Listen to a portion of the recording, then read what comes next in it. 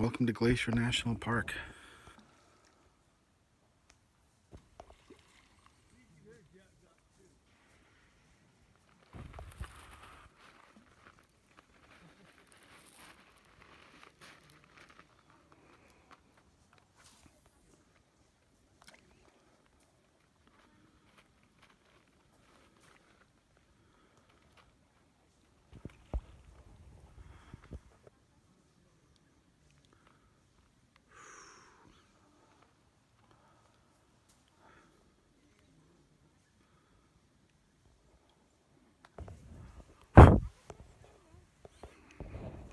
Bring your bug spray.